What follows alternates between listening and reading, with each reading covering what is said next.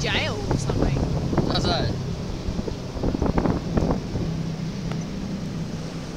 Fuck, it's big when you're this close to it.